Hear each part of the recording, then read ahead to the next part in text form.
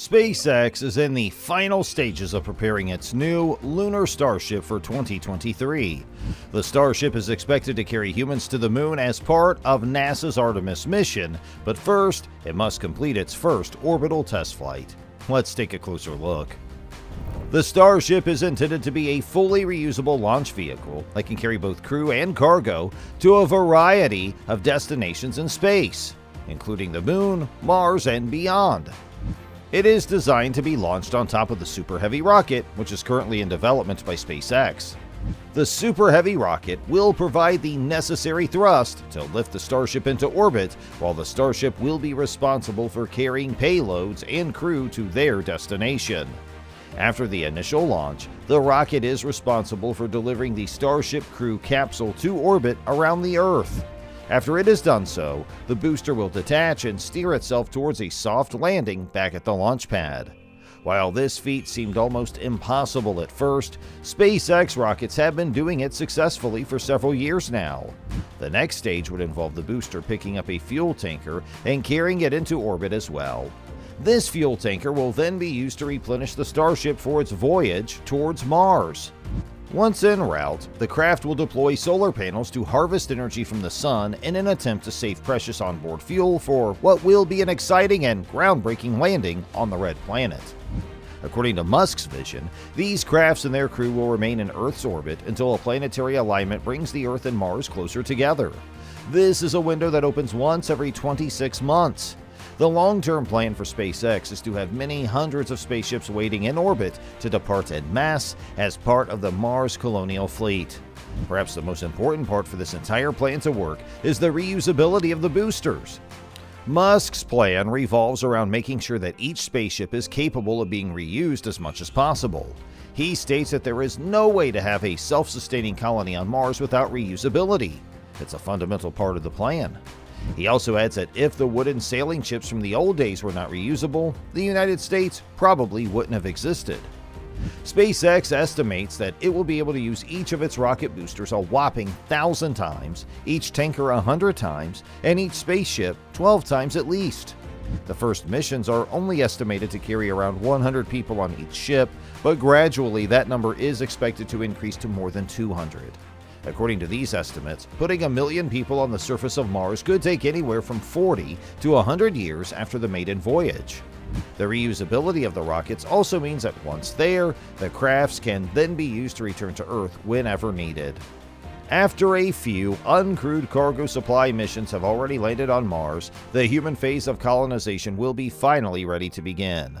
One of the biggest hurdles that stand in the way is the red planet's notoriously thin atmosphere. NASA had to be extra careful when landing their Curiosity rover on the planet, which weighed a mere 2,000 pounds and is a tiny fraction of the total payload that the manned missions will carry. This is one of the reasons why SpaceX continues to perfect its supersonic retro rocket technology, so they can gradually enter the Martian atmosphere and lower a very heavy spacecraft onto the surface using this reusable method. That's not all, though. Entering the atmosphere is another problem that needs attention. The craft needs to withstand a heated entry to the planet and perform a propulsive landing while still being capable of refueling and going back to Earth to start over again. The first few journeys would probably just drop off supplies and set up a propellant depot on the planet, so return trips are possible when needed. After the supply runs are complete, humans can finally make their way to Mars. The first crew will need to rely on digging beneath the surface and dredging up buried ice. This will be used as a water source which will eventually power the entire colony. When the essential crews consisting of scientists and engineers have finally been set up, competition will start over the first few seats that can take willing individuals to the newly colonized planet. In the coming years, we can expect to see the Starship playing a key role in a variety of space based missions, including crewed missions to the ISS, lunar missions, and even interplanetary travel. Its versatility and reliability will make it an invaluable tool for exploring the final frontier and unlocking the full potential of space travel. The success of the Artemis program largely depends on if the Starship is ready on time.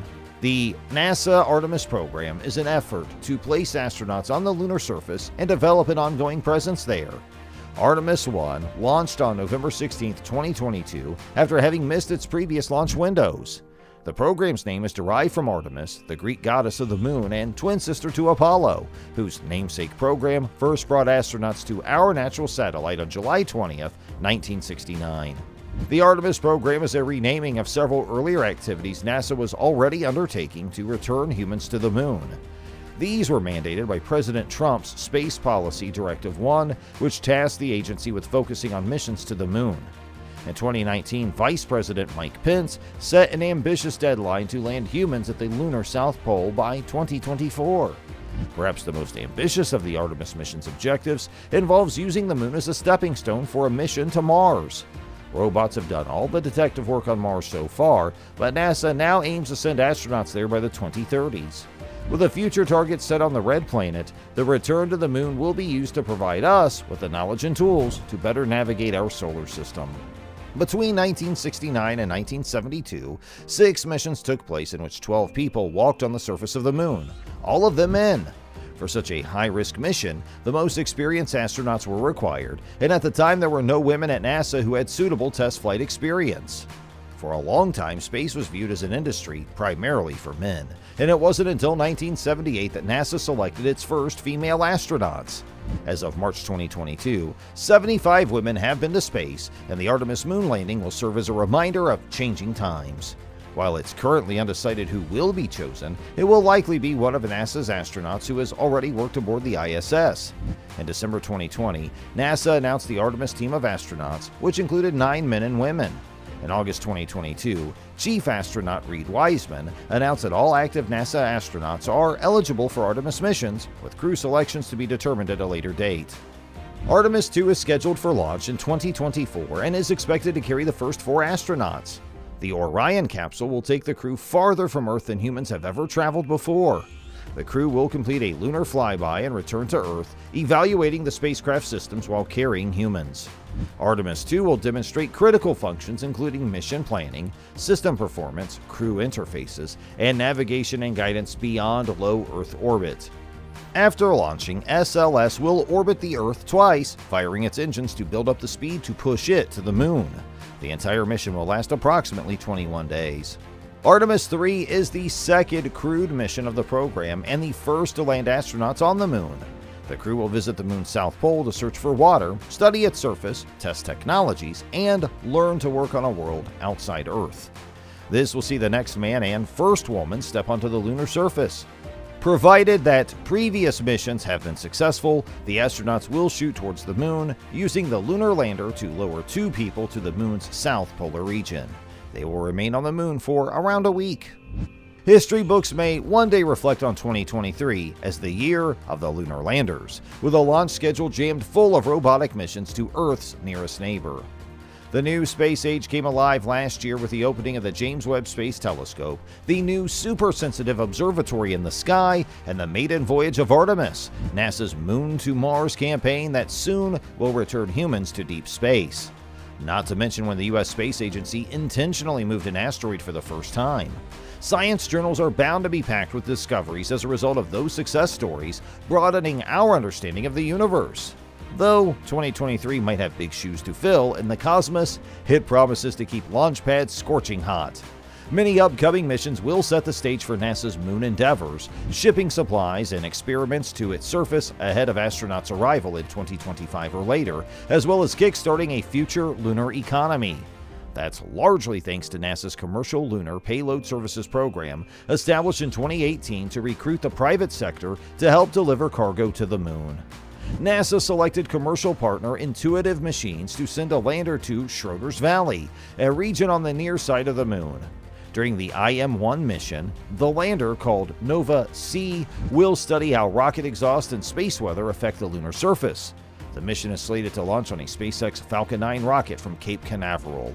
The spacecraft, a six sided cylinder standing on two legs, will carry five NASA instruments, among other unrelated commercial pieces of cargo, and demonstrate advanced landing technology. Fun fact the lander will stay warm in frigid space like a lot of people do, with a coat. Rather than reinvent the wheel, Intuitive Machines partnered with Columbia Sportswear to use some of its insulation material on the spacecraft. Perhaps the biggest launch of the year will be the first orbital test flight for SpaceX's Starship. After a successful splashdown of the Orion spacecraft in the Pacific Ocean, NASA Administrator and former Senator Bill Nelson shared that his agency plans to go to Mars by the end of 2030. Senator Nelson struck an upbeat tone after NASA had a great Artemis 1 mission, and the remarks were made during a post splashdown press conference, in which he also shared details for SpaceX's Starship lunar lander. The event was attended by several agency officials, including Michael Sarafin, NASA's Artemis 1 mission manager, who shared his final thoughts on Orion's performance as it entered the Earth at breakneck speeds for a successful landing. Throughout its journey to the moon and back, Orion performed better than NASA engineers had initially expected. The spacecraft's power generation, done through solar panels, generated more power than expected. As part of the mission, NASA added additional test objectives to stress the vehicle and learn more about its performance for future missions.